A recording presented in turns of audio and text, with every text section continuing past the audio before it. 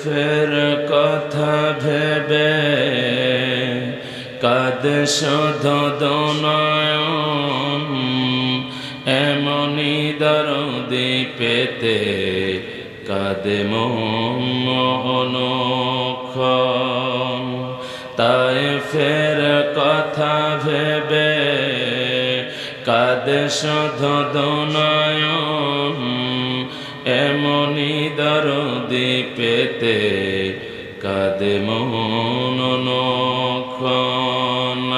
اللهم صل على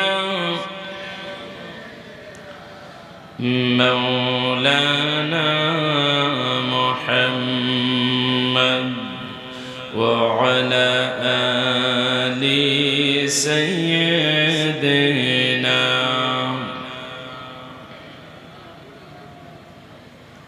بلغ العلا بكماله كشف الدجى بجماله. حسنت جميع خصاله صلوا عليه. سورة يوسف بدار حقمت لقمان ما قري قرآن بري أيدن شاد من من بلغ العلا بكماله كشف الدجى بجماله حسنت جميع خصاله صلوا عليه. اللهم آمين. ربنا ظلمنا أنفسنا وإن لم تغفر لنا وترحمنا لنكونن من الخاسرين. رب العالمين. আমরা কতিপয় গুনাহগার বান্দা গভীর রজনীতে তোমার রহমতের দিকে দুখানি হাত উত্তোলন করেস মেহরবানি করে আমাদের দোয়াকে তোমার দরবারে লাহিতে কবুল করে নাও। রব্বুল আলমিন, আজকের এই মাহফিলের আয়োজন যারা করেছেন আর কোরআনের আলোচনা শোনার জন্য যারা এসেছেন আয়ামতের ময়দানে কঠিন মুসিবতের সময়, যেদিন সূর্যের বারোটা মুখ উদয় হবে, সমস্ত জমিনগুলি যখন তামার ন্যায় হয়ে যাবে গোনাগারদের মগজগুলো যখন নাক কান বে পড়তে থাকবে, হাসরের ময়দানের কোটি কোটি মানুষ শুধু পানি দাও রে, পানি দাও বলে চিৎকার করবে। রব্বুল আলমিন ওই কঠিন মুসিবতের সময় আমাদের মাহফিল খানা সকলের জন্য নাজাত রসিলা হিসাবে কবল করে নিও। আয়াল্লাহ আরামকে হারাম মনে করে তোমার কোরআনের আলোচনা শোনার জন্য যারা বসে আছেন, আলোচনা শেষ না হওয়া পর্যন্ত ধীর মস্তিষ্কে তোমার কোরআন থেকে কিছু আলোচনা শুনতে পারে, সে তাও দিয়ে দাও। ইয়ার کرم تو اگر کرے أو بعد جبا کو جو دل پر اثر کرو تقبل منا إنك أنت السميع العليم وتب علينا إنك أنت التواب الرحيم رب ارحمهما كما ربياني صغيرا واجعل آخر كلمتنا عند الموت. لا إله إلا الله محمد رسول الله. صلى الله عليه وسلم محزز محترم واجب الاحترام حضرت علماء کرام أئمة مساجد صدقان বাংলাদেশের ঐতিহ্যবাহী সাতক্ষীরা জেলার দেভাটা থানাধীন খানজিয়া নোয়াপাড়া জামে মসজিদ প্রাঙ্গণে আমিনিয়া ইসলাম সওয়াব মাহফিল কমিটি ও এলাকার ইসলামী যুব সমাজ কর্তৃক আয়োজিত বঙ্গ আসামের সুবিখ্যাত পীর আলেমকুল শিরোমণি হাদিয়ে জামান মহাদ্দেশ ফকি মরহম আল্লামা রুহুল আমিন রহমতুল্লাহ আলীহের স্মরণে পঞ্চাশতম বার্ষিকী আমিনিয়া ইসালে সবাব মাহফিলের দুই দিন ব্যাপী মাহফিলের আজকের সমাপনী দিনের সম্মানিত সভাপতি, সভাপতিত্ব ও আখিরে মনাজাতে যার নাম রয়েছেন ভারতীয় উপমহাদেশের প্রখ্যাত আলমেদিন আল্লামা রুহুল আমিন রহমতুল্লাহ আলীহের সুযোগ্য পৌত্র, খানায় কাবার মেহমান আলহাজ হজরত মাওলানা শরফুল আমিন সাহেব। আল্লাহ পাক হুজুরের সুস্থতা দান করুক, সকলে বলেন আমিন। আজকের মাহফিলের সম্মানিত প্রধান বক্তা, প্রধান আলোচক, বিশিষ্ট ইসলামী চিন্তাবিদ, আন্তর্জাতিক খ্যাতি সম্পূর্ণ মুফসির কোরআন, জনাব হজরত মাওলানা শেখ ইয়াহিয়া তাকি সাহেব এবং এতক্ষণ আপনাদের সামনে যিনি আলোচনা করে ধন্য করেছেন, জনাব আলহাজ হজরত মাওলানা মোহাম্মদ আবু সাইদ সাহেব সহ সম্মানিত ওলামায় হাজরাত সম্মুখ পান উপবিষ্ট। বিভিন্ন এলাকা থেকে আগুনের ফুলকের মতো ছুটে আসা আল্লাহ প্রেমিক, রসুল প্রেমিক, কোরআন প্রেমিক, দিনদার, মুত্তাকি, পরহেজগার বাবা জিও ভাইরা, সুপ্রিয় সাংবাদিক বন্ধুগণ, প্রশাসনিক ভাইরা বিশেষ করে উল্লেখযোগ্য আমার অত্যন্ত পছন্দের আল্লাহ রব্বুল আলমিনের কাছে অত্যন্ত প্রিয়। তারুণ্যের উচ্ছ্বাস, উদ্দীপনায় ভরা, অন্যায়, অত্যাচার, অবিচারের বিরুদ্ধে প্রতিবাদী কণ্ঠ, জালেমের, জুলুমের বিরুদ্ধে যারা কথা বলেন, স্বৈরাচার, স্বৈরাতন্ত্রের বিরুদ্ধে যারা প্রতিবাদ, প্রতিরোধ গড়ে তোলেন, যাদের রক্তের উপরে ইসলামের ফাউন্ডেশন দাঁড়িয়েছে, সেই সমস্ত ছাত্র বন্ধুরা কিশোর তরুণ যুবকেরা, পর্দার অন্তরালে অবস্থান অবস্থানরত মা ও বোনেরা, আমি আবারও অন্তরের অন্তঃস্থল থেকে সালাম ও মুবারকবাদ বিনিময় করছি। আসসালামু আলাইকুম রহমতুল্লাহি ওবরাকাত লাখো কোটি তারিফ, প্রশংসা জ্ঞাপন করি আল্লাহ দরবার ইলাহিতে যে মহান রব্বুল আলামিন, যে সময় পবিত্র মাহে রমজান গোটা দুনিয়ার মুসলিম মিল্লাতকে হাতছানি দিয়ে ডাকছে। রহমত, বরকত, নাজাতের বার্তা নিয়ে অপেক্ষা করছে পবিত্র মাহে রমজান গোটা মুসলিম মিল্লাতের জন্য। ঠিক এহেন একটি বরকতপূর্ণ, রহমতপূর্ণ, ফজিলতপূর্ণ সময়ে যে মহান রবুল্লা আলমিন তার মহাগ্রন্থ আল কোরআন এবং রসুলের নির্দেশিত হাদিস থেকে কিছু মূল্যবান কথা শোনার, বুঝার এবং জীবনে বাস্তবে আমল করার লক্ষ্যে এহেন পবিত্রতম মজলিস তথা মজালিস রহমতের মধ্যে হাজির হওয়ার তৌফিক এনায়ত করেছেন। এজন্য সে মহান মনিবের দরবারে কালিমত শকর আদায় করি, সকলে বলি, আলহামদুলিল্লাহ। আমরা হৃদয়ের সবটুকু আবেগ উজাড় করে দিই। মস্তক অবনত চিত্তে শুক্রিয়া আদায় করি সে বিশাল বিস্তীর্ণ আকাশের মালিকের দরবার ইলাহিতে যে মহান রব্বুল আলমিন। এলাকার লক্ষ লক্ষ মানুষের ভিতর থেকে আমাদেরকে প্রকৃত মমিন এবং মোত্তাকি হিসাবে প্রগণিত করে। দুনিয়ার বিভিন্ন রঙ্গ অনুষ্ঠানে হাজির না করে আসমানের নিচে জমিনের বুকে শ্রেষ্ঠ গোনামাপের মজলিসে হাজির হওয়ার তৌফিক এনায়ত করেছেন। এজন্য সে মহান মনিবের দরবারে আবারও শুক্রিয়াতান সকলে বলি, আলহামদুলিল্লাহ। সম্মানিত হাজরিন, রসুল করিম সাল্লাহ আলী সাল্লাম বলেছেন মাইয়ুরিদুল্লাহু বিহি দুনিয়ার কোনো মানুষকে যখন পছন্দ করে, যেরকম কি করে?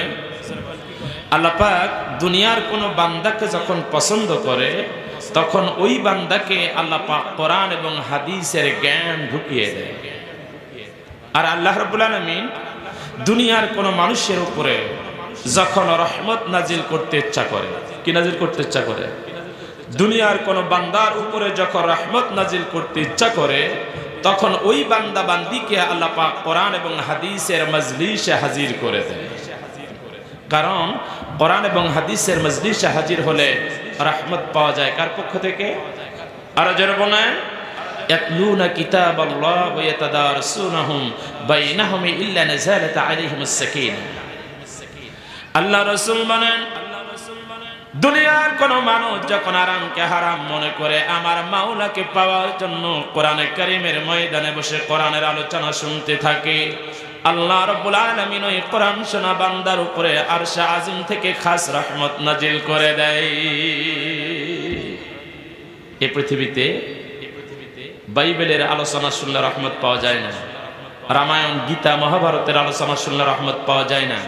কোরআনুল করিমের আলোচনা শুনলে রহমত পাওয়া যায় কার পক্ষ থেকে আরো যারা বলে তবে সত্য হলো একটা সত্য কয়টা সত্যটা দিয়েছেন তিনি যিনি রহমত নাজিল করেন তিনি কে আরো যারা বলে আল্লাহ রব্বুল আলমিন বলে বান্দারে সত্য হলো فاستمعوا له وأنصتوا لعلكم ترحمون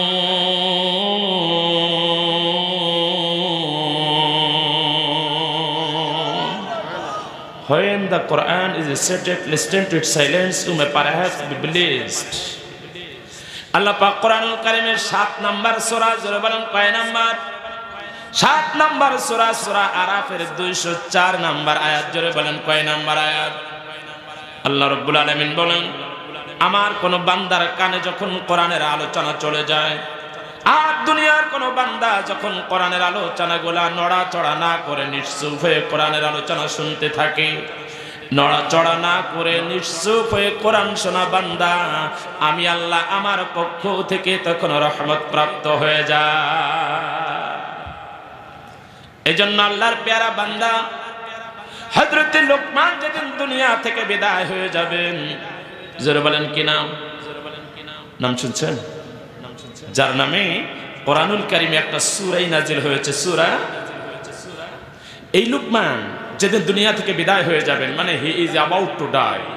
তার মর্মার অবস্থা, কলিজার টুকরা সন্তানেরা হজরত লুকমানের চতুর্ধারে দাঁড়িয়ে আছে এমন সময় আল্লাহর পেয়ারা বান্দা হজরত লোকমান কলিজার টুকরা সন্তানদের মুখের দিকে তাকিয়ে বলছে, ছেলেরা, আমি তোমাদের পিতা লোকমান আমার মন বলছে, দুনিয়ার মায়াময় মুখ আমি হয়তো আর বেশি সময় দেখব না। তবে আমি লোকমান, দুনিয়ার মায়াময় মুখ ছেড়ে চলে যাওয়ার আগে পিতা হিসাবে তোমাদের ওসিয়াত করে গেলাম।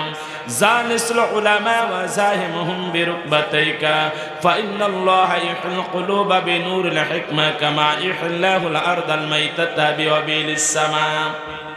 এই পাবেন কোরআনুল কারিমের পরে। পৃথিবীতে সর্বপ্রথম হাদিসের কিতাব হিসাবে যে কিতাব লেখা হয়েছিল, নাম কি? পৃথিবীতে সর্বপ্রথম হাদিসের কিতাব হিসাবে যে কিতাবটা লেখা হয়, নাম কি? যারা বুখারি বলেছে, তারা একশো পার্সেন্ট নাম্বার পেয়ে ফেল করেছে। কি করেছে? কারণ এ পৃথিবীতে সর্বপ্রথম যিনি হাদিসের কিতাব লেখেন, তিনি ছিলেন একজন তাবেঈ। যেরকম কি ছিলেন? ইমাম বুখারি রহমতুল্লাহ আলাইহি তো তাবি ছিলেন না। তাবি ছিলেন নাকি? পৃথিবীতে সর্বপ্রথম যিনি হাদিসের কিতাব লেখেন, তিনি ছিলেন একজন তাবেঈ। তার নাম হলো ইমাম মালিক রহমতুল্লাহ আলাইহি। যে ইমাম মালিক রহমতুল্লাহ আলাইহি হযরতে আনাস রাদিয়াল্লাহু তাআলা আনহুর ছেলে। যেরকম কার ছেলে? যে আনাস রাদিয়াল্লাহু তাআলা আনহু 10 বছর রাসূলের ঘরে খেদমত করেছে। কয় বছর? আর জোরে বলেন, কয় বছর? এজন্য আল্লাহর নবী যেদিন দুনিয়া থেকে বিদায় হয়ে যাবেন, আয়েশা রাদিয়াল্লাহু তাআলা আনহার উরুর উপরে নবীজির মাথাটা রয়েছে। আয়েশা রাদিয়াল্লাহু তাআলা আনহা বলেন, আমি বারবার নবীজির চেহারা মোবারকের দিকে তাকিয়ে দেখলাম, আল্লাহর নবীর একবার হুশ আসে আর একবার বেহুশ হয়ে যায়।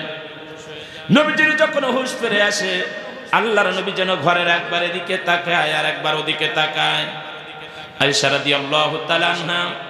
নবীজির কানের কাছে বলছি আর ইয়া জীবনের শেষ মুহূর্তে আপনি কারে তালাশ করেন, কারে খোঁজ করেন? আপনার জীবনের একমাত্র কুমারী স্ত্রী আয়েশা, আপনি তো আমার কাছে শুয়ে আছেন। আপনার কলিজার টুকরা ফাতেমা রাদিয়াল্লাহু তাআলা আনহা আপনার অবস্থা দেখে কেঁদে কেঁদে পাগলের মতো অস্থির উনি তো আপনার সামনে দাঁড়ানো। আপনার কলিজার টুকরা হাসান আর হোসাইন, ওরা দুই ভাই তো কেঁদে কেঁদে পাগলের মতো অস্থির হয়ে গেছে, ওরাও তো সামনে দাঁড়ানো।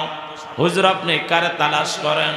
এমন সময় আল্লাহর নবী দুই হাত দিয়ে দুই হাত দিয়ে আয়সা রাদিয়াল্লাহু তাআলা আনহার গলা জড়িয়ে ধরে, কানের কাছে মুখটা লাগায়া বলছে আয়সারে আমি আমার জীবনের শেষ মুহূর্তে আমার ফাতেমাকে দেখি, আমার হাসান হুসাইনকে দেখি, আমার সব সাহাবিকে আমি দেখতে পাই। কিন্তু দশটা বছর যে আনাস আমার খেদমত করল, আমার দশ বছরের খাদেম আনাসকে তো আমি একবারও দেখি নাই। আবু বকর রাদিয়াল্লাহু সাথে যখন কথাটা বলে দিলেন সাহাবায়ে কেরাম, আল্লাহর নবীর 10 বছরের খাদেম আনাস রাদিয়াল্লাহু আনহুকে তালাশ করার জন্য বেরিয়ে পড়লেন। এমন সময় আবু বকর রাদিয়াল্লাহু আনহু নজর করে দেখে, মসজিদে নববীর একটা কর্নারে 18 বছর বয়সী আনাস রাদিয়াল্লাহু তাআলা আনহু ছোট্ট শিশুর মতো ফোপায় ফোপায় কাঁদতেছে। আবু বকর রাদিয়াল্লাহু তাআলা এক দৌড় দিয়ে আনাস রাদিয়াল্লাহু তাআলা আনহুকে দুই হাত দিয়ে জড়িয়ে ধরে নবীজির সামনে হাজির।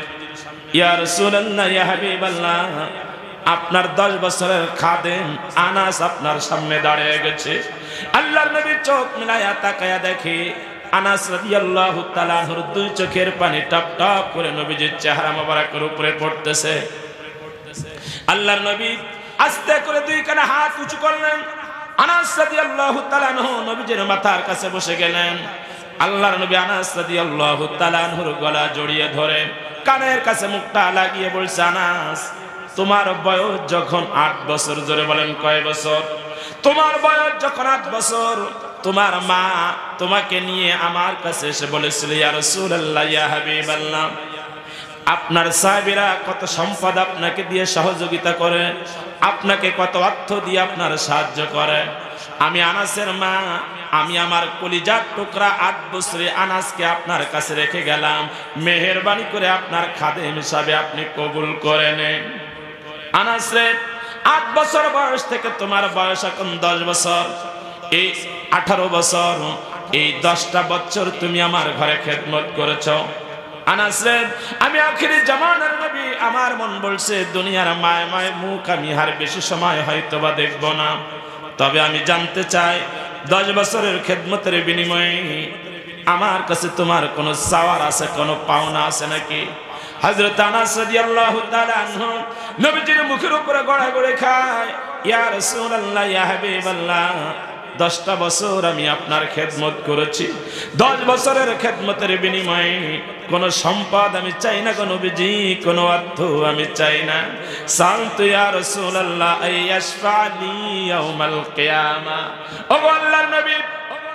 আমি দশ বছরের খেদমতের বিনিময়ে কোন সম্পদ আমি চাই না, কোন অর্থ আমি চাই না। সালতু ইয়া রাসূলুল্লাহ ইয়াশফানি ইয়াউমাল কিয়ামা। কথা দাও গণবিজি কিয়ামতের কঠিন মুসিবতের সময়। যেদিন মা তার কলিজার টুকরা সন্তানের কথা ভুলে যাবে। কলিজার টুকরা সন্তান যখন মায়ের কথা ভুলে যাবে, স্ত্রী যখন তার স্বামীকে চিনতে পারবে না, স্বামী যখন তার স্ত্রীর পরিচয় দেবে না, ওই কঠিন মুসিবতের সময় আমি আনাস আমার জন্য আল্লাহর দরবারে একটু সুপারিশ করবেন কিনা? আল্লাহ নবী দুই চোখের পানি ছেড়ে কাঁদে। নবীজি আনাস রাদিয়াল্লাহু তাআলা আনহুর মুখের দিকে তাকায় বলে, আনাস, আনা ফাইলুন ইনশাআল্লাহ। আনাস রে, কিয়ামতের ময়দান আল্লাহ পাক যদি চাহে, আমি তোমার জন্য অবশ্যই আল্লাহর দরবারে সুপারিশ করব। আনাস, কিয়ামতের ময়দানে কঠিন মুসিবতের সময় শুধু তোমার জন্য সুপারিশ করব না, আমার লক্ষ কোটি কোটি গুনাহগার উম্মতের জন্য আমি মাওলার দরবারে সুপারিশ করব। হযরত আনাস রাদিয়াল্লাহু তাআলা আনহু কান্দে, ইয়া রাসূলুল্লাহ, ইয়া হাবিবাল্লাহ, কিয়ামতের কঠিন মুসিবতের সময়। যে সময় মা তার সন্তানের পরিচয় দেবে না, সন্তান তার মায়ের পরিচয় দেবে না, স্বামী তার স্ত্রীর কথা ভাববে না স্ত্রী তার স্বামীর কোনো পরিচয় দেবে না। ইয়া রাসূলুল্লাহ ওগো ওই কঠিন সময় আমি আপনাকে কোথায় আল্লাহ রসুল কঠিন সময় তুমি আমাকে তিনটা জায়গায় তালাশ করবা, জোরে বলেন কয়টা? এক নম্বরে জায়গা হলো, মিজানের কাছে তুমি আমাকে তালাশ করবা। হযরত আনাস বলি, ইয়া রাসূলুল্লাহ মালকাকা আলাল মিজান? ওগো আল্লাহর নবী, মিজানের কাছে যদি না পায় তাহলে কোথায় তালাশ করব? আল্লাহ রসুল বলছে, আনাস, তাহলে তুমি আমাকে পুলসিরাতের কাছে তালাশ করবা। হযরত আনাস কান্দে, ইয়া রাসূলুল্লাহ ফাইল্লা মালকাকা আলাস সিরাত? ওগো আল্লাহর নবী, আমি পুলসরাতের কাছে যদি না পাই, তাহলে কোথায় তালাশ করব? আল্লাহ রসুল আনাস, সর্বশেষ তুমি আমাকে হাউজে কাউসারের কাছে তালাশ করবা। কারণ কেয়ামতের কঠিন মুসিবতের সময়, যে সময় লক্ষ কোটি কোটি মানুষ শুধু পানি দাও রে, পানি দাও বলে চিৎকার করবে, ওই কঠিন মুসিবতের সময় আমি নবী আমার উম্মতের পানি পান করানোর জন্য হাউজে কাউসারের কাছে অপেক্ষা করব। কারণ আমার রাসূলকে কাউসার কে দান করেছে? আর বলেন। ইন্না আ'তাইনা কাল কাউসার। আমার নবীকে কাউসার কে দান করেছে? আনাস রাদিয়াল্লাহু তাআলা আনহু রাসূলকে বলছে, হুজুর 10 বছর খেদমত করেছে, সম্পদ চাই না, অর্থ চাই না। চাই আইয়াশফা লি ইয়াউমাল কিয়ামা। কিয়ামতের কঠিন মুসিবতের সময় আল্লাহ দরবারে আমার জন্য একটু সুপারিশ করবেন? আমার বন্ধুরা, এই আনাস রাদিয়াল্লাহু তাআলা আনহুকে আল্লাহ পাক অনেকগুলা সন্তান দান করেছিল।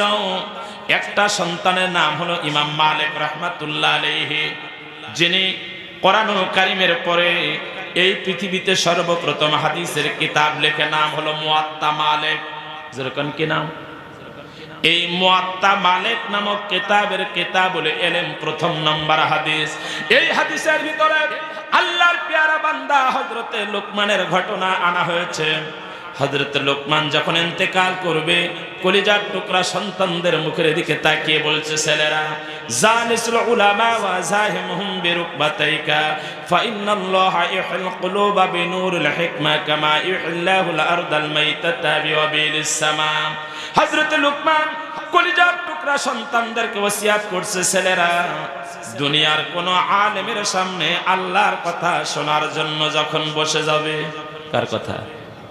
আমরা কার কথা শোনার জন্য বসে আছি?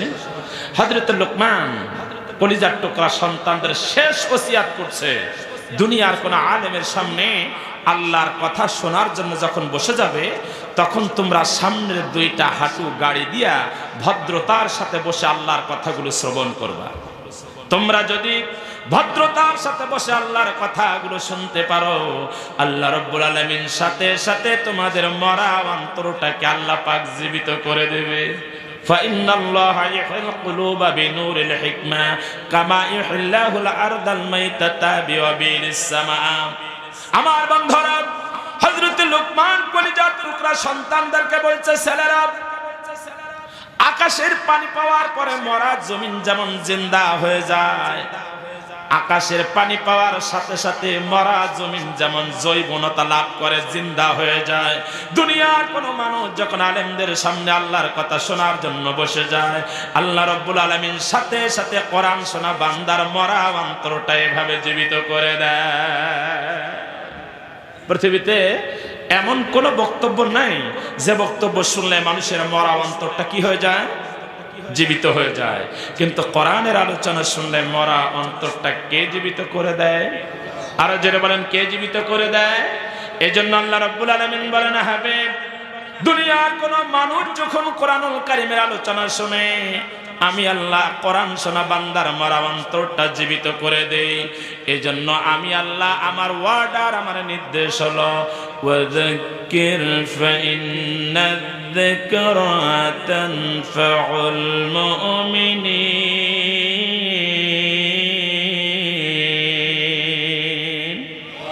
সাতাশ নাম্বার পারা জোরে বলেন কয় নাম্বার সাতাশ নাম্বার পারা দুই নাম্বার রুকু একান্ন নাম্বার সোরা সোরা জারিয়াতের ছাপ্পান্ন নম্বর আয়াত কয় নাম্বার আল্লাহ পাক বলেন হাবিব দুনিয়ার কোন মানুষ যখন কোরআনে কালিমের আলোচনা শোনে আমি আল্লাহ কোরআন শোনা মানুষের মরা অন্তরটা সাথে সাথে জীবিত করে দেই। এজন্য আমি আল্লাহ আমার ওয়ার্ডার আমার নির্দেশ হলো ওয়াজাক্কির বিল কোরআন। আমার বান্দার সামনে তুমি কোরআনের ওয়াজ করো। সুবহানাল্লাহ। কোরআনের ওয়াজ করার নির্দেশটা কার? আরও জোরে বলেন। এখন আপনি যদি সেই কোরআনের ওয়াজের বিরোধিতা করেন সেই কোরআনের মাহফিলে ওয়ান হান্ড্রেড ফোরটি ফোর জারি করেন আল্লাহর কসম কেয়ামতের ময়দানে আবু জেহেলের সাথে জাহান নামে যেতে হবে। কারণ কোরআনের ওয়াস করার নির্দেশ দুনিয়ার কোনো মানুষের না, এই নির্দেশটা কে দিয়েছে? আর যেটা বলেন, কে দিয়েছে? আল্লাহ নবী মানুষের সামনে কোরআনের ওয়াস করত কার নির্দেশে? আর কাফের বেঈমানেরা রাসূলের কণ্ঠের ওই কোরআনের আলোচনা বন্ধ করে দেওয়ার ষড়যন্ত্র করত। ঠিক না বে ঠিক? কথাটা কোরআনে কারিমের ভিতরে এভাবেই বলেছেন ইউরিদুনা লিয়ুতফিউ নূরাল্লাহি বিআফওয়াহিহিম, ওয়াল্লাহু মুতিম্মু নূরিহি, ওয়ালাউ কারিহাল কাফিরুন।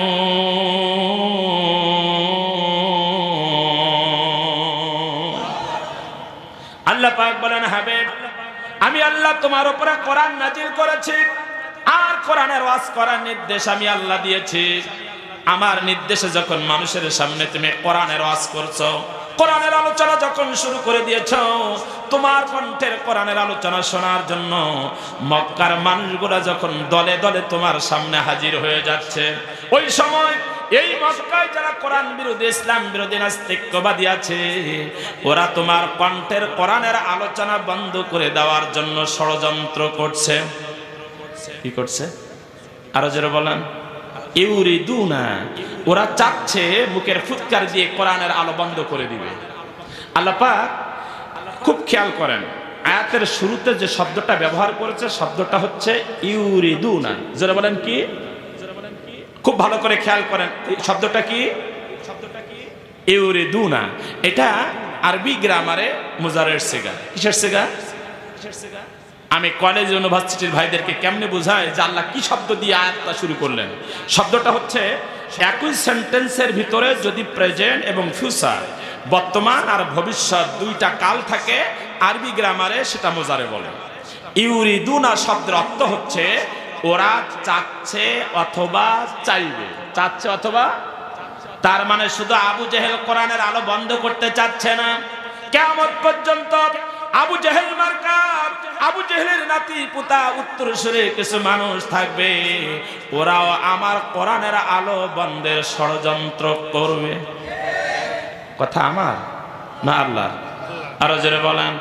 কিন্তু আল্লাহ পাক বলে হাবিব মজার বিষয় হলো কেমন পর্যন্ত কাফির বেঈমানেরা কোরআন বিরোধীরা কোরআনের আলো বন্ধ করার ষড়যন্ত্র যত বেশি করবে, তত বেশি আমি আল্লাহ আমার কোরআনের আলো আমার জমিনে আরও জ্বালাইয়া দেব। ও আদাকার আরও জোরে বলেন। এজন্য কেয়ামত পর্যন্ত কোরআন বিরোধীরা শত চেষ্টা করেও কোরআনের আলো বন্ধ করতে পারবে না পারবে না পারবে না যেরকম ঠিক কিনা কারণ কোরআন নামক আলো এই পৃথিবীতে কে নাজিল করেছে? একটু চিল্লায় বলেন, কে নাজিল করেছে? قد جاءكم من الله نور وكتاب مبين কোরআন নামক আলো দুনিয়ায় কে নাজিল করেছে কিন্তু মজার বিষয় হলো এটাই আল্লাহ পাক কোরআন নামক আলো দুনিয়ায় নাজিল করেছে কিন্তু সুইচটা দুনিয়ায় দেয় নাই সুইচটা নিজের কাছে রেখে দিয়েছে সুবহানাল্লাহ কোরআন কেমত পর্যন্ত যে কোরআন বিরোধীরা বন্ধ করতে পারবে না, তার কারণ কোরআন কে নাজিল করেছে আর সুইচটা কার কাছে? আরও জোরে বলেন। আপনি এই খানজিয়া মাহফিলের কারেন্টের আলোগুলা এখন বন্ধ করে দিবেন। কি করবেন? এখন বন্ধ করার জন্য কি দরকার? সুইচ। সুইচ যদি আপনার কাছে থাকে, টিপ দিলে এক সেকেন্ডের ভিতরে সমস্ত আলোগুলা কি হয়ে যাবে? কিন্তু আপনি আলোগুলা বন্ধ করবেন, সুইচ আপনার কাছে নাই। কি নাই? তাহলে কি আপনি আলো বন্ধ করতে পারবেন? জোরে বলেন, পারবেন? হ্যাঁ পারবেন। পথ আছে একটা। পথ হচ্ছে তার কেটে দিতে হবে। কারেন্টের তার কি করতে হবে? কেটে দিতে হবে। তাহলে মুহূর্তের ভিতরে আলোগুলা কি হয়ে যাবে? তবে সমস্যা আছে আর একটা সুইচ অফ না করে তার কেটে যদি কারেন্টের আলো বন্ধ করতে যান, তাহলে ওই কারেন্টের তারের সাথে পেঁচাইয়া নিজে কারেন্ট হয়ে দুনিয়া থেকে বিদায় হয়ে যাবে। যারা বলেন, ঠিক কিনা? আমার বন্ধুরা, আল্লাহ রাব্বুল আলামিন কোরআন নামক আলো দুনিয়ায় নাজিল করেছেন। সুইচটা আল্লাহ দুনিয়ায় পাঠায় নাই, নিজের কাছে রেখে দিয়েছে। এ কথা কাফের বেঈমানেরা জানতো নাকি? আরও জোরে বললাম আবু জেহেল উদ্বা সাইবা, ওরা এ খবর জানতো। যেরকম কি করতো? জানতো যে তার প্রমাণ হলো অষ্টম হিজড়িতে কত হিজড়ি অষ্টম হিজড়িতে আল্লাহ নবী মাহমদ সাল্লাল্লাহু আলাইহি সাল্লাম যেদিন দশ হাজার সাহাবি নিয়ে মক্কা জয় করে ফেললেন, সেদিন আবু জেহেলের নিজের ছেলে ইকরামা রাসুলের সামনে কালেমা পড়ে মুসলমান হয়ে গিয়েছিল। কি হলো? তো মুসলমান হয়ে যাওয়ার পরে একদিন রসুলের মুখের দিকে তাকিয়ে বলছি আর রসুল্লাহ সাল্লাহ আলী সাল্লাম আপনি যে আখি জামানার নবী, এটা আমি আগের থেকে জানতাম। এটা আমি তো আল্লাহ রসুল কয়, ইকরামা, তুমি যদি আগের থেকে জানো আমি আখির জামানার নবী, তাহলে তোমার আব্বা আবু জহেল আর তোমরা আমাকে সারা জীবন এত জ্বালান কেন জ্বালিয়েছ? আর তুমি কি করে জানলে যে আমি আখির জামানার নবী? কীভাবে আগের থেকে জানলা? হজরত ইকরামা বলেন, ইয়া ওয়াসাল্লাম। ওই দিন থেকে আমি জেনেছিলাম আপনি সাধারণ কোন মানুষ না, আপনি আখিরের জামানার পয়গম্বর। যেদিন আল্লাহ রব্বুল আলামিন আপনার উপরে কোরআনুল কারীম নাজিল করলেন আর কোরআনের ওয়াজ করার নির্দেশ আপনাকে দিলেন। আল্লাহর নির্দেশে আপনি যখন কোরআনের আলোচনা শুরু করলেন, এই মক্কার কাক মক্কার মানুষেরা দলে দলে আপনার সামনে কোরআনের আলোচনা শোনার জন্য হাজির হয়ে যাচ্ছিল। ওই সময় আমার আব্বা আবু জেহেল উদ্বা সাইবা কোরআন বিরোধী কাফের বেঈমানেরা একটা মিটিং ডেকেছিল। কীভাবে আপনার কণ্ঠ থেকে কোরআনের আলোচনা বন্ধ করা যায়? ইয়া ওই মিটিং এর প্রধান বক্তা ছিল আমার আব্বা আবু জেহেল। আর ওই মিটিং এর সদস্য আমি, ইকরামা, আমিও ছিলাম। আমিও? আলোচনা যখন শেষ হয়ে গেল, আমি আমার আব্বা আবু জাহেলকে ডাক দিয়ে বললাম, আব্বা যান এই জায়গায় আপনি আর আমি ছাড়া আর কেউ নাই। সত্য করে বলেন তো দেখি। আব্দুল্লাহর ছেলে মোহাম্মদ সাল্লাল্লাহু সাল্লাম যে কথাগুলা বলে, এ কথাগুলা তার বানানো কথা না কথা আল্লাহ রাব্বুল আলামিনের কথা? আবু জাহেল ডাক বলে ইকরামা সত্য কথা বলতে। মোহাম্মদ সাল্লাল্লাহু সাল্লাম যে কথাগুলা বলে, এ কথাগুলা তার বানানো কথা না কথাগুলো আল্লাহ রাব্বুল আলামিনের কথা। একরামা ডাক দিয়ে বলে আব্বাজান আপনি যদি জানেন যে মোহাম্মদ ইসলাম নিজের কথা বলেন, আল্লাহর কথা বলে, তাহলে আপনি বিরোধিতা করেন কেন? কালেমা পড়ে মুসলমান হয়ে গেলেই তো হয়। আবু জেহেল ডাক দিয়ে বলে একরামা যা বলেছ বলেছ। খবরদার, দ্বিতীয়বার কোনোদিন এই কথা আমার সামনে আর বলবা না। কারণ আমি যদি মোহাম্মদ সাল্লামের সামনে কালেমা পড়ে মুসলমান হয়ে যায় মক্কার জমিনে বাড়ি আমার আর বেশি দিন। আমার বন্ধুরা, আল্লাহর ওলিদের উপরে যারা অত্যাচার করে হাক্কানে আলে ওলামাদের উপরে যারা নির্যাতন চালায়, ওরাও রাত্রবেলা বালিশে মাথা রেখে চিন্তা করে, হায় রে, এত বড় আলেমের উপরে কেন অত্যাচার করলাম? আল্লাহর অলিকে কেন নির্যাতন করলাম? আল্লাহর অলিরা তো নিজের কোনো কথা বলে না, আলেমরা নিজের কথা বলে না, কথা বলে কার? রাত্রবেলা নিজের ভুল নিজে স্বীকার করে আফসোস করে, কিন্তু দিনের বেলা আলেমদের উপরে অত্যাচার করে, আল্লাহর অলিদের উপরে নির্যাতন চালায়। ওই আবু জেহেলের মতো ক্ষমতা টিকিয়ে রাখার জন্য। আবু জেহেল জানতো যে করার নামক আলো কেনাজিল করেছে আর সুইচটা কার কাছে, কিন্তু আবু জেহেল চেষ্টা করতো রাসুল নামক তারকে কেটে দিয়ে কোরআনের আলো বন্ধ করে দেওয়ার জন্য। ঠিক কিনা? এই জন্য বদরের প্রান্তরে, কোন জায়গায়? বদরের যুদ্ধের দিন। আবু জেহেল লোকজন নিয়ে অস্ত্র শস্ত্র নিয়ে রাসুল নামক তারকে যখন কাটতে গেলেন, আবু জেহেল ওই কারেন্টের তারের সাথে পেঁচায়া কারেন্ট হয়ে বদরের প্রান্তরে জীবনের মতো বিদায় হয়ে গিয়েছিল। ঠিক না ঠিক আরও জোরে বললাম সম্রাট আকবর। নাম শুনছে? নাম শুনছে? সম্রাট আকবর চিন্তা করেছিল, কোরআন নামক আলো বন্ধ করে দিবে। এজন্য সে নতুন একটা ধর্ম প্রচার করেছিল, নাম হলো দিন এ ইলাহি। যারা বলেন, কি না দিন এ ইলাহি। যখন দিন এ ইলাহি ধর্ম প্রচার শুরু করলেন, তখন এই ধর্মের অনুসারী হয়েছিল আঠারো জন। কতজন? আঠারো জন। আঠারো যখন জন যখন অনুসারী হয়ে গেল, সাথে সাথে মুজাদ্দিদ আল ফিসানি রহমাতুল্লাহ আলাইহি হাজার হাজার মুসলমান নিয়ে রাজপথে নেমে আল্লাহর নামে তাকবীর শুরু করে দিলেন। মুজাদ্দিদ আল ফিসানি রহমাতুল্লাহ আলাইহি হাজার হাজার মুসলমান নিয়ে যখন আল্লাহর নামে তাকবীর শুরু করে দিলেন, সাথে সাথে সম্রাট আকবরের কম্পন তৈরি হয়ে গেল। কি তৈরি হয়ে গেল? আরে যারা বলেন। আছে না নাই? আল্লাহর নামের তাকবির শুনলে কিছু মানুষ আছে, কলিজায় আগুন ধরে যায়। আরও যারা বলে ঠিক কিনা? আসলে যে এরা কি বোঝে, তাও বোঝে না। আল্লাহর নামের তাকবির এটা দলের স্লোগান না, এই স্লোগানটা কার? আরও যারা বলে এই স্লোগানের যারা বিরোধিতা করে, তাদের ইমানের ত্রুটি আছে যারা বলেন, ঠিক কিনা? এর বিরোধিতা যারা করে, আসলে যে তারা কি বোঝে, তাও বোঝে না। কি যে বোঝে? আমার একটা ঘটনা মনে পড়ে যায়। দুই হাজার এক সাল। কত? দুই হাজার এক সালে। আমি যখন ইসলামী বিশ্ববিদ্যালয়ে প্রথম ভর্তি পরীক্ষা দিয়েছি, ভর্তি হওয়ার জন্য। তো ইসলামী বিশ্ববিদ্যালয়ে ভর্তি হওয়ার জন্য ইসলামী বিশ্ববিদ্যালয় ব্যাংকে টাকা জমা দিতে হয়। কি জমা দিতে হয়?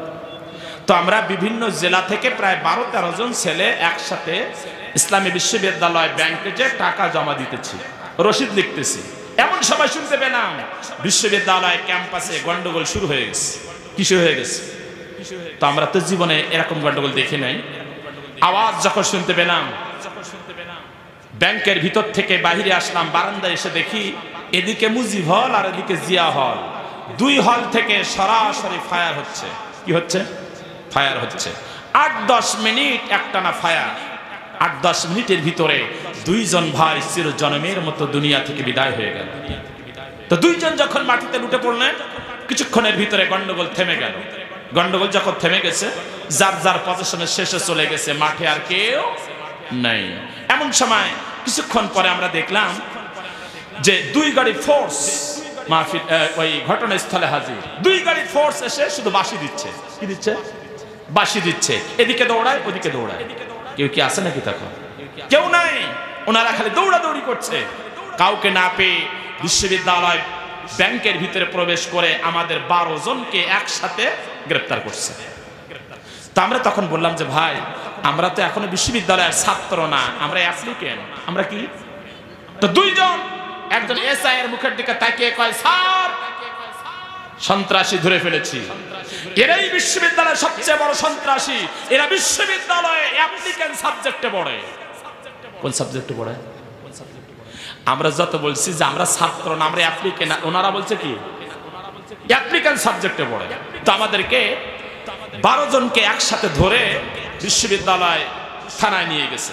থানায় যেয়ে দেখি ওসি সাহেব চেয়ারে বসা। তো উনি আমাদের চেহারার দিকে তাকিয়ে বুঝতে পেরেছে যে আমরা নতুন বিভিন্ন জেলা থেকে প্রথম গেছি। উনি আমাদের মুখের দিকে তাকিয়ে বলছে তোমরা কি গন্ডগোল করছ নাকি? আমরা বললাম, স্যার, গন্ডগোল তো দূরের কথা, জীবনে এরকম গন্ডগোল আমরা দেখি নাই।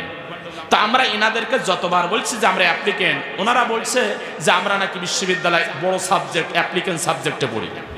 তখন ওসি সাহেব ওদের দিকে তাকিয়ে বলছে, বেয়াদব, গাধা কোথার গা অ্যাপ্লিকেন্ট কোনো সাবজেক্ট হয়? যেরকম কি হয়? আলহামদুলিল্লাহ আলহামদুলিল্লাহ। লিল্লাহে তাকবীর, নারায়ে আলহামদুলিল্লাহ, আপনাদের থানার উপজেলা চেয়ারম্যান সাহেব এসেছে। আলহামদুলিল্লাহ, বলে আলহামদুলিল্লাহ। এবং ইউনিয়ন চেয়ারম্যান সাহেব এসেছে। যেরকম মারহাবা! আরও জোরে বলেন, মারহাবা! তো ভাইরা ব্যস্ত আছে মনে হয় নাকি? আচ্ছা আচ্ছা। আলহামদুলিল্লাহ, তো আমরা ওসি সাহেব আমাদের দেখে বলছে, তোমরা গন্ডগোল করছ নাকি?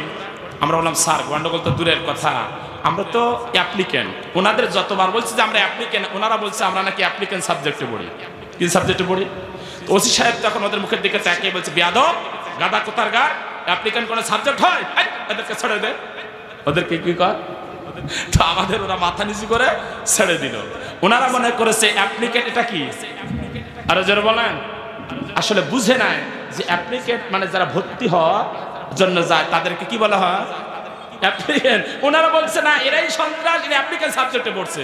ওসি সাহেব কয় গাধা অ্যাপ্লিকেন্ট কোনো সাবজেক্ট হয়, ছেড়ে দেবে তো আসলে আল্লাহর নামের তাকবীর। এটা কোনো দলের নয়, এর স্লোগানটা কার? আরও জোরে বলেন।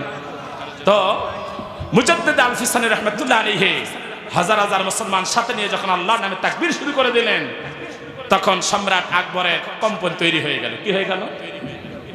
সম্রাট আকবর চিন্তা করেছে, মুজাদ্দিদ আল ফিসানি নামক তারকে যদি ছেড়ে দেওয়া যায়, কোরআনের কথা বলার জন্য সামনে আর কেউ এগিয়ে।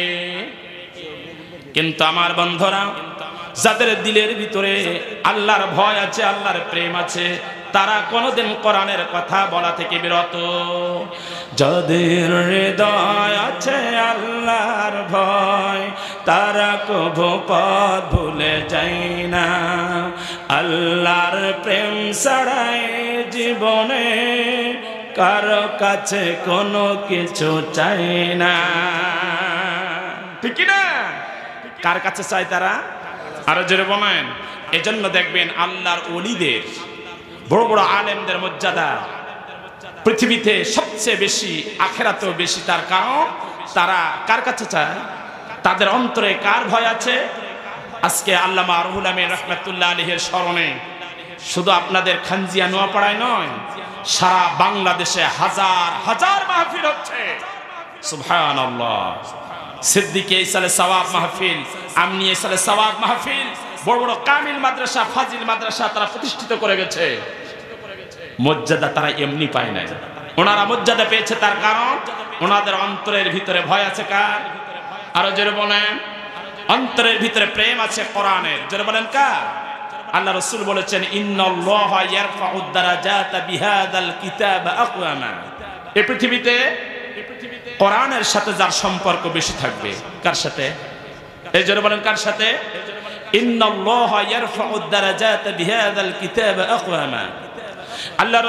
হাদিসের মধ্যে বলেছেন, পৃথিবীর ভিতরে যে মানুষটার সম্পর্ক কোরআনের সাথে বেশি থাকবে কোরআনের সাথে যার গভীরতা বেশি থাকবে, সম্পর্ক, প্রেম, ভালোবাসা বেশি থাকবে, আল্লাহ রব্বুল আলামিন ওই বান্দার মর্যাদা দুনিয়ায়ও বাড়িয়ে দেবে, আখেরাতেও বাড়াইয়া দেবে। আমি মাঝে মাঝে চিন্তা করি যে আল্লামা রুহুল আমিন রহমতুল্লাহ আলিহে ফরফরা দাদা হুজুর আবু বকর সিদ্দিক রহমতুল্লাহ আলিহে লক্ষ মানুষ নয়, কোটি কোটি মানুষ তাদের স্মরণ করে। শ্রদ্ধা ভরে যারা বলেন, কি ভরে? শ্রদ্ধা ভরে তাদের স্মরণ করে, কারণটা কি? কারণ খুঁজতে খুঁজতে আবু দাউদ শরীফে সেই হাদিসটা পেয়ে গেলাম। দুনিয়ার কোন মানুষের সম্পর্ক যখন কোরআনের সাথে হয়, কিসের সাথে হয়? তখন আল্লাহ রব্বুল আলামিন এই হাদিসটা হযরত আবু হুরায়রা রাদিয়াল্লাহু তাআলা আনহু থেকে রওয়ায়াত। আল্লাহ রাসূল বলেছেন যে, যখন কোন মানুষের সম্পর্ক কোরআনের সাথে গভীরতা হয়ে যায় তখন জিবরাইল আলাইহিস সালাম। আল্লাহ তখন জিবরাইলকে ডাক দিয়ে বলে, জিবরাইল, আমি দুনিয়ার উমুকের ছেলে উমুককে ভালোবাসি, কারণ সে আমার কোরআনকে ভালোবাসে। সুবহানাল্লাহ বলব না? এর জন্য আমিও তাকে কি করি? ভালোবাসি। তুমিও তাকে ভালোবাসো। জিব্রাইল সালাতু সালাম তখন ثم ينادي في السماء في فيقول إن الله يحب فلانا فحبه فيحبه أهل السماء আল্লাহ জিব্রাইল আলাইহিস সালাতু সালাম তখন আকাশের সব ফেরেশতাদের ডাক দেয় ফেরেশতাদের ডাক দিয়ে বলে ও ফেরেশতারা আল্লাহ রাব্বুল আলামিন দুনিয়ায় উমুকের ছেলে উমুককে ভালোবাসে কারণ তার সম্পর্ক কোরআনের সাথে বেশি এজন্য আল্লাহ পাক তাকে ভালোবাসে আর এ কারণে আমিও তাকে ভালোবাসি তোমরাও তাকে ভালোবাসো সুবহানাল্লাহ দোয়া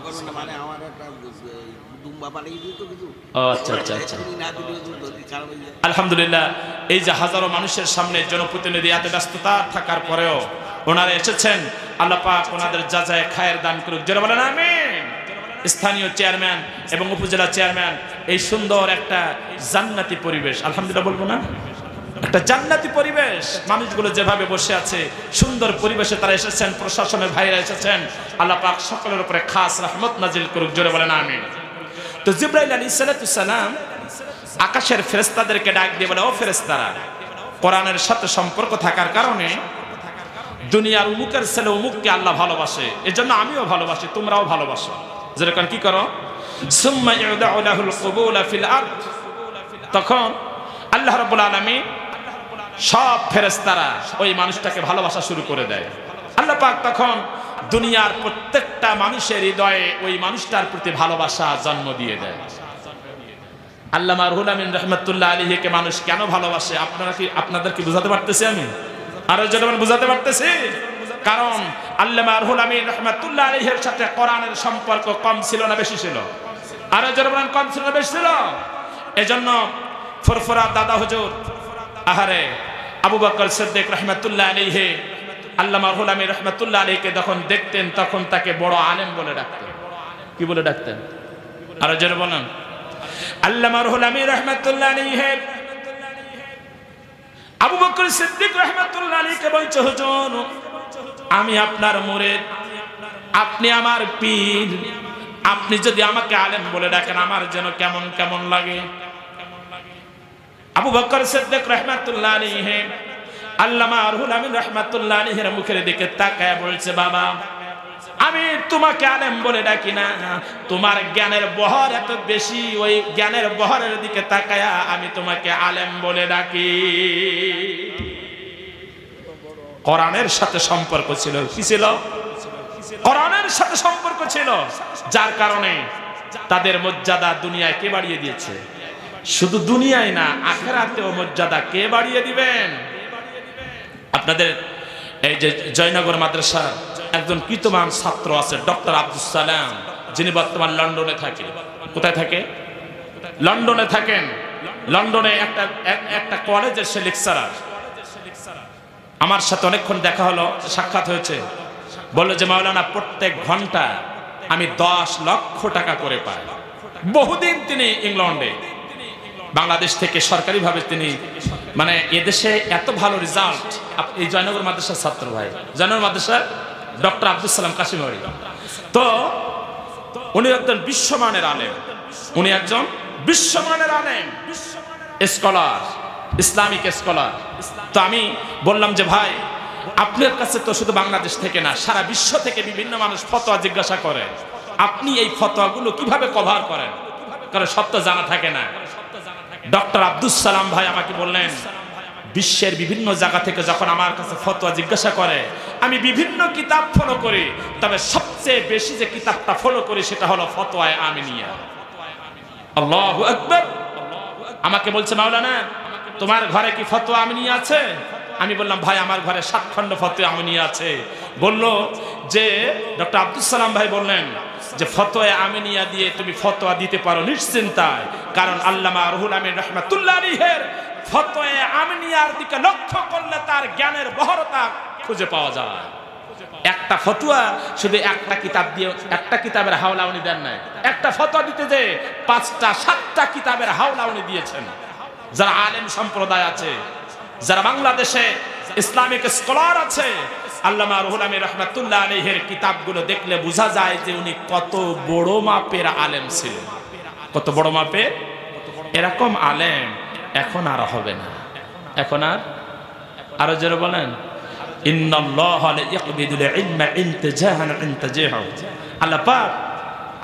আগে এলেমকে টানে হেসড়ে উঠায় নেবে না। বরং এলেম জাননেওয়ালা আলেমদের উঠানোর মাধ্যমে এলেম উঠে যাবে। কি উঠে যাবে? আবু বকর সিদ্দিক রহমতুল্লাহ আলীহের মতো আলেম, এখন আর আছে? আল্লামা রুহুল আমিন রহমতুল্লাহ আলীহের মতো আলেম, এখন আর আছে? আর আসবে না। আস্তে আস্তে কমতে যাবে। যেরকম কি হয়ে যাবে? এমন ভাবে আল্লাহ রসুল হাদিসের মধ্যে বলেছেন, কিয়ামতের পূর্বে আলেম উঠে যাওয়া যেতে যেতে আর কোন আলেম যখন থাকবে না, মানুষ মূর্খ ব্যক্তির কাছে ফতোয়া জিজ্ঞাসা করবে।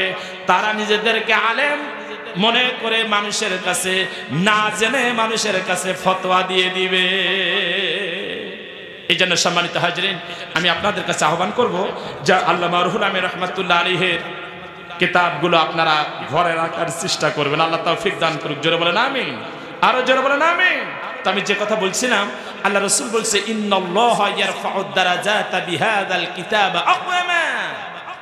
এই কিতাবের সাথে, অর্থাৎ কোরআনের সাথে যার সম্পর্ক থাকবে, আল্লাহ পাক তার মর্যাদা দুনিয়ায়ও বাড়াইয়া দেবে, আখেরাতেও বাড়াইয়া দিবে। এজন্য আল্লাহ রাব্বুল আলামিন বলেন, হাবিব আমার বান্দার সামনে তুমি কোরআনের আলোচনা করো। কারণ এই কোরআনের আলোচনা, কোরআনের ওয়াজ যখন বান্দা শুনতে থাকবে